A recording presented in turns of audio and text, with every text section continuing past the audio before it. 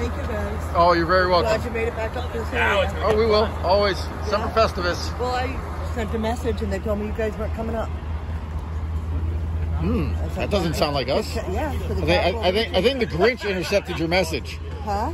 I said I think the Grinch intercepted your message, Maybe because was or like, or maybe Scrooge. One of the two. Yeah, I like, you gotta watch out for those guys.